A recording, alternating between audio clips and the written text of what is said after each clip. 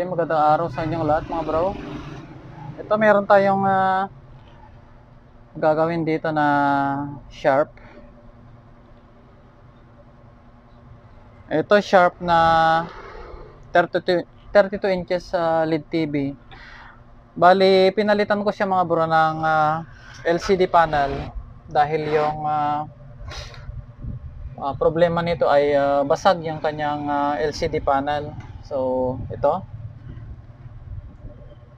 Sharp na Acos 32 inches. Ah, Hindi ko na pinakita yung pagpalit ng ah, panel at pagbaklas. Ah, ituturo ko lang to doon sa mga magbabalak na magpalit ng LCD panel na hindi niya ah, kaparehas yung ah, model na ipapalit. Kagaya nito, sharp yung TV natin. Tapos ah, pinalitan natin ng ah, panel ng oh, ito siya. Ang nilagay natin dito ay ah, LCD panel ng ah, China TV.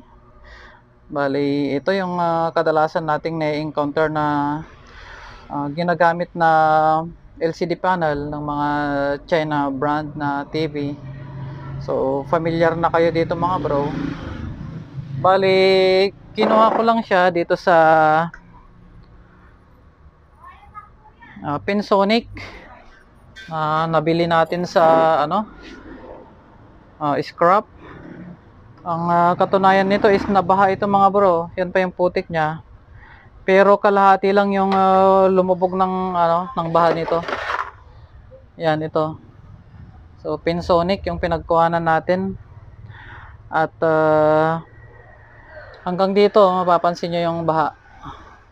Pero nakuha pa rin yung kanyang ano na nabasa pa rin yung kanyang ah, source board saka yung ah, mga 4 inches so, na part ng kanyang LCD panel. So pinatuyo lang natin 'yan at ah, lininisan. Tapos ah, nilagay natin siya dito. So ang ah, gagawin natin dito is uh, tong sharp is uh, bali flex yung kanyang ah, LBDS. Iba yung kanyang ah, interface dito. Okay, ilagay nga natin tong uh, ilagay nga natin sa holder yung cellphone natin. so, ito siya. Ang gagawin natin dito or ang kadalasan kong ginagawa dito ay para mas madali yung maghinang is uh, kinukuha ko din yung kanyang ano, yung kanyang uh, uh, LBD sa interface doon sa kanyang uh, kunin natin yung kanyang ano LCD uh, yung kanyang LCD source board so ito mga bro yung uh, LCD source board ng uh, Sharp ayan so ang uh, ginagawa ko dito is kinu kinukuha ko itong kanyang uh, LBD sa interface para dito ko i-connect itong ating LBDS. Yan. Tapos yung dating uh, LBDS naman nung kinuha natin na uh, LCD panel, ito siya. Puputulin ko na lang to tapos uh, dito na ako maghihinang.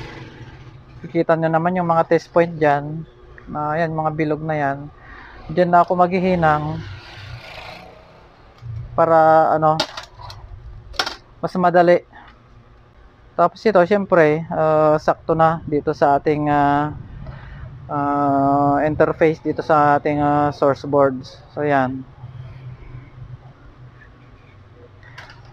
Oh, ang kagandahan lang dito mga bro sa LCD source board ng uh, Sharp is ano to? Kung familiar kayo doon sa LG, parehas din sila.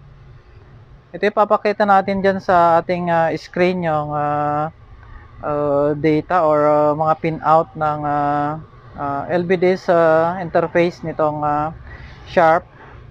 Uh, pero yung papakita natin sa LG yan eh. Parehas lang din sila dito sa Sharp. So ito na mga bro yung ah, data sheet ng ah, LG panel na pwede nating pagbasihan dito sa ginagawa natin na Sharp dahil ah, parehas sila ng ah, data sheet. Bali ano siya, ah, HD lang siya. Yung ah, pin number 1 to 4 is ah, yan yung kanyang ah, 12 volts na supply. 5 to 8 is ground. Pin number 9 yan, yan yung kanyang ah, LVDS select. Diyan tayo magko magko-connect mamaya ng resistor na 10k patong patungong ano 3.3 volts para maayos yung kanyang ah, solarize. Pin number 10 is ah, not connected or no, no connection. 11 is ah, ground. Pin number 12 and 13 yan na yung ah, unang ah, pares ng kanyang ah, data signal RA minus RA plus. Pin number ah, 14 is ground. Yung ah, 15, 16, yan yung pangalawang ah, pares ng ah, data signal, ah, RB minus RA plus.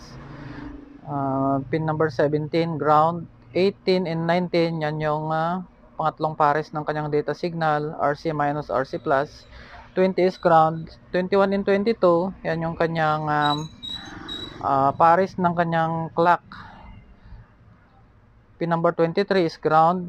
24 and 25, yan yung ah, huling pares ng, ng kanyang um, data signal, RD minus RA plus. So, yan lang mga bro, napaka, ano lang, napakadali lang ah, sundan yan.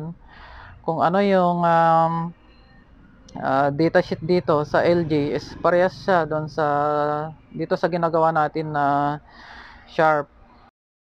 Ah, sa susunod naman is ah, Sony naman yung ah, papalitan natin ng ah, ibang ah, LCD panel.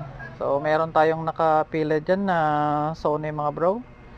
Ah, yun yung ah, try naman try naman nating ah, ano ah, papakita natin yung kung paano siya lagyan ng ah, ibang ah, LCD panel. Ah, so ngayon, ito muna yung ah, ah, gagawin natin. At bago natin ipagpatuloy yung ating ginagawa, shout out nga pala kay Bro ah, Rizaldi Cruz. Ah, pasyalan nyo yung kanyang channel mga bro, is si Fix Electronics. Bali, malulupit din yung mga ginagawang video nito mga bro. So, Rizaldi Rose, dun sa ah, binigay mo sa aking ah, software nung ah, nakaraan. Ayun, ah, bali hindi ka nagdalawang hindi ka nagdalawang isip, ah, binigay mo agad sa akin. So, shout out sa'yo. So, tuloy tayo sa ating ginagawa. Oh, ito na mga bro. Bali na nakuha ko na yung kanyang interface at uh, kinonik ko na din. So ayan makikita nyo dito mga bro. Yung pin number 1 to 4 is uh, yan yung kanyang uh, supply na 12 volts. 5 to uh, 8 is uh, ground. Yung pin number 9 is uh, LVD select pin number 10 not connected. Uh, 11 ground. Tapos 12 dyan na yung umpisa ng kanyang uh, data signals. So itong uh, 1 itong uh, 1 2 3 magkakasunod na tatlong pares yun yan kanyang uh, uh, data signal. Tapos yung pang-apat na pares is uh, pares naman yan ng uh, clock. Tapos yung uh, panglimang pares is yan yung uh, huling pares ng kanyang uh, data signals. So, ilalagay na natin to mga bro. At uh, para makita natin yung uh, ano niya, labas ng picture. So, pagsalpak natin to mga bro is ano pa to, magiging solarize ito. At uh, may gagawin pa tayo doon.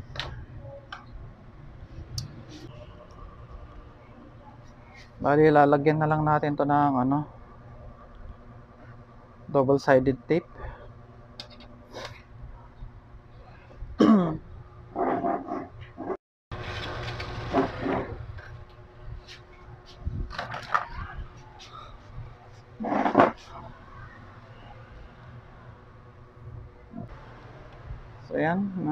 lalagyan natin ng uh, double-sided tape. Dito na lang.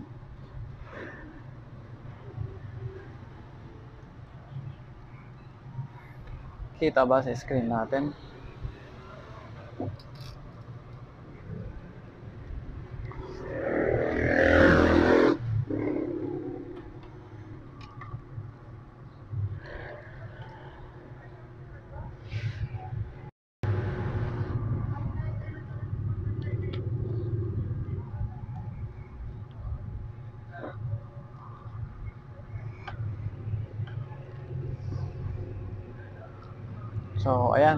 Na natin and then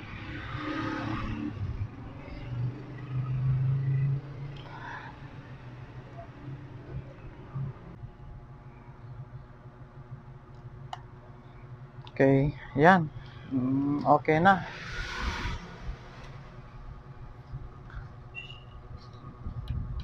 Okay, subukan natin ngayong ah, i-plug in mga bro para makita nyo kung ano yung ah, kakalabasan ng kanyang picture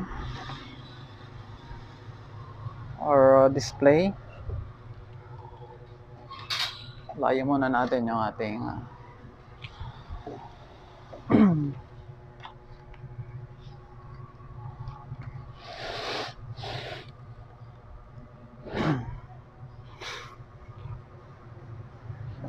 Oh, ayan oh.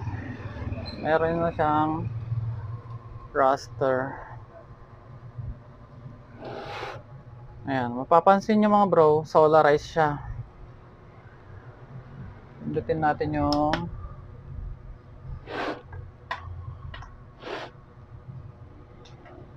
Ayun oh. Teka, yung remote pala dito. Natin yung remote. Natin yung kanyang menu. Ayan, kita nyo na yung kanyang display. Ganito kapag nagpalit kayo ng ano sa Sharp. Ah, hindi naman siya naka-mirror. Okay naman siya. Kaya lang ah, solarize yung ah, labas ng kanyang picture. Pero pag ah, ang nilagay nyo dito sa Sharp is ah, LG panel, sakto na yun mga bro. Ah, okay na yung picture, wala na, wala na kayong babaguhin pag yung ah, LG panel ang ginamit nyo. Dahil ah, ang Sharp naman is gumagamit siya ng ah, LG panel. Yung mga ibang model ng ah, Sharp is ah, madalas LG panel yung ginagamit. So, para maayos natin to is ah, ah, susuplayan natin ngayon yung ating ah, pin number 9 dun sa kanyang uh, LBDS yung ah, napakita natin kanina na ah, yung pin number 9 is ano yon LBDS select. So yung kanyang pin number 9 magkoconnect tayo dyan ng ah, resistor na 10k muna. Pag hindi umubra is ah, 1k bali ah kukonek natin sa ah, 3.3 volts. Ayun, balik kukonek natin siya sa 3.3. Kaya hanap muna ako ng resistor. Pause muna natin.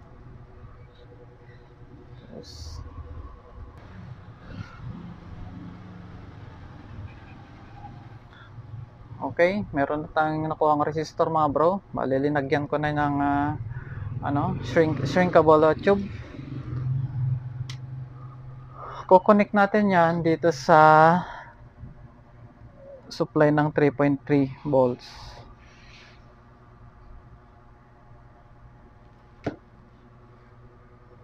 So, ito yung kanyang ah, 3.3 volts. Pero madalas ang ginagamit ko dito is yung 10K so okay na.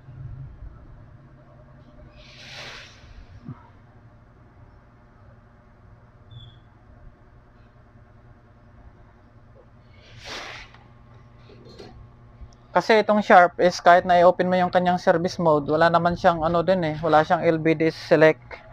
Kaya ito na lang yung gagawin natin. Magko-connect na lang tayo dito sa ah, kanyang LBD select pin number 9. Doon sa mga China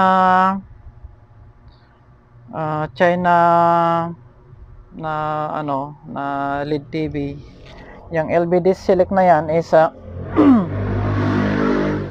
kung minsan yan is not connected at saka naka tap sa ground. Pero dito is kailangan natin siyang ah, i-connect.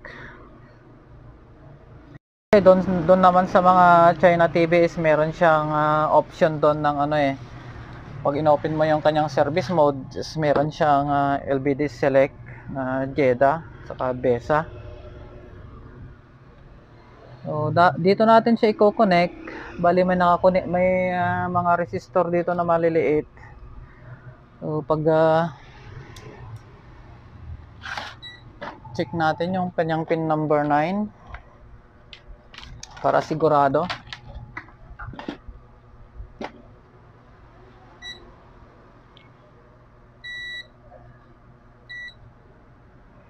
So ito may resistor dito na Check natin kung anong value nitong resistor na to.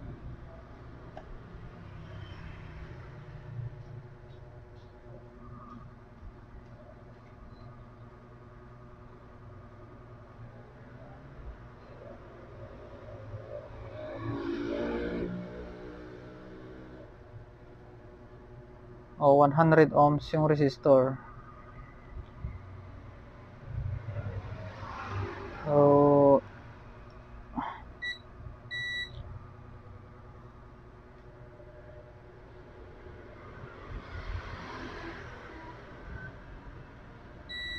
Ito yung pin number 9. Dito na lang sa resistor tayo na mag-connect.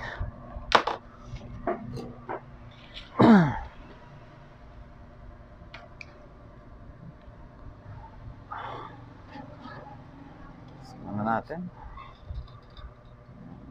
Hindi natin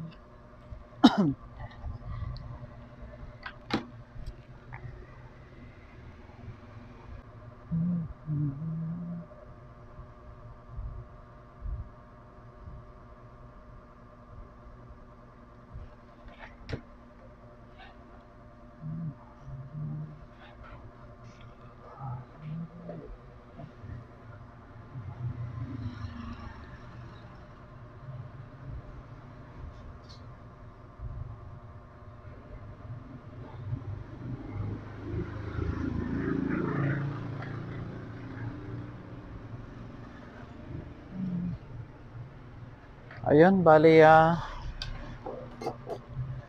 na-connect na natin siya. Okay, dito na lang natin siya sa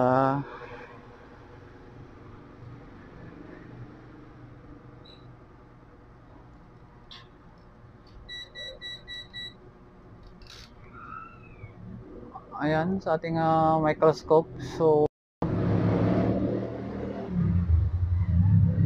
yung ah, resistor na yan na 100 ohms, ah, connect siya dito sa pin number 9. Bali ito. Yung test point na yan. Yan yung kanyang ah, LBD select. Okay, subukan ngayon natin.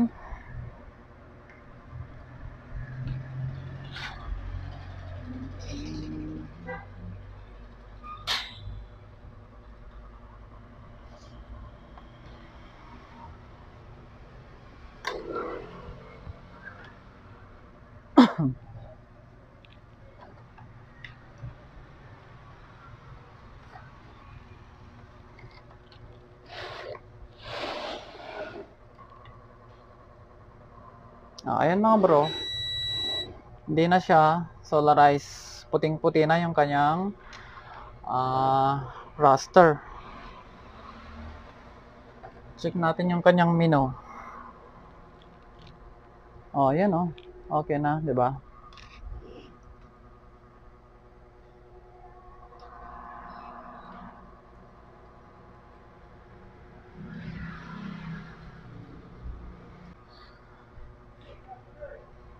Subukan natin siyang lagyan ng antena.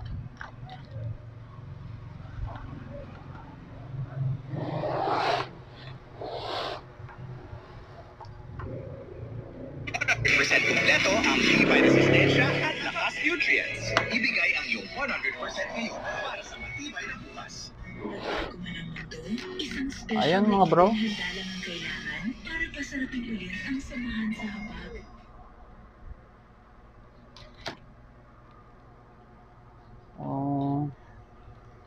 Okay pa yung ah, nabili lang natin sa scrap na ah, China na LCD panel. Oo, matutuwa na naman si customer natin dito dahil ah ah, nagawan natin ng ah, may nap- naipalit tayong LCD panel dito sa kanyang ah, Sharp na ah, LED TV. So, ganun lang mga bro yung ah, gagawin nyo. Kung ah, magpapalit kayo ng ah, halimbawa Sharp yung TV nyo, papalitan, papalitan nyo siya ng China board. ah, ganito yung gagawin nyo. Pero kapag ah, LG naman yung pinalit nyo na panel, is okay na yun. Wala na kayong babaguhin. Pasok na siya. Oh, lalagyan na lang natin to ng ano dyan? Fix na lang natin tong kanyang mga flex. Yan siguro